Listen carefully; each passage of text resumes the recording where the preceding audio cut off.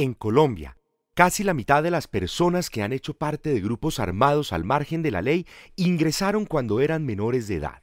Muchos han muerto, muchos están en prisión y otros perdieron la posibilidad de desarrollarse como colombianos del común.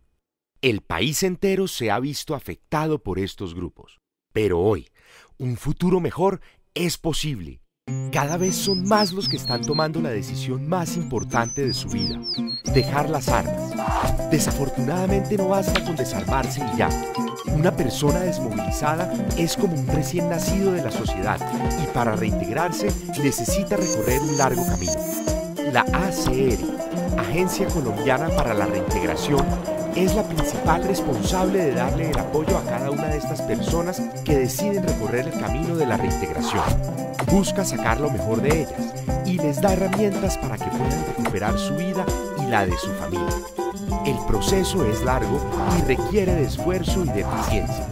En promedio, una persona dura seis años y medio en el proceso de reintegración.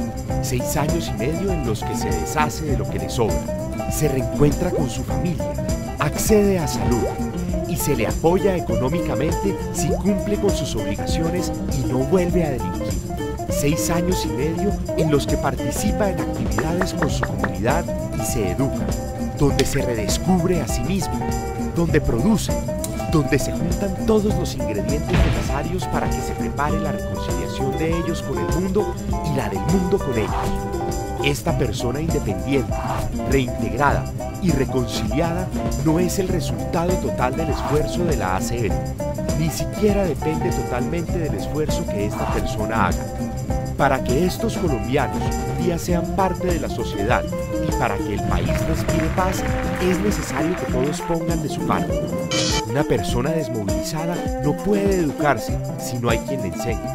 No puede trabajar si no se le da trabajo no puede reconciliarse si no se le da la mano. La reintegración es responsabilidad de todos, vecinos, empresarios, entidades públicas y privadas, papás, mamás, amigos, hijos, colombianos. De todos depende que la decisión más importante de una persona se convierta algún día en la llave para la paz del país.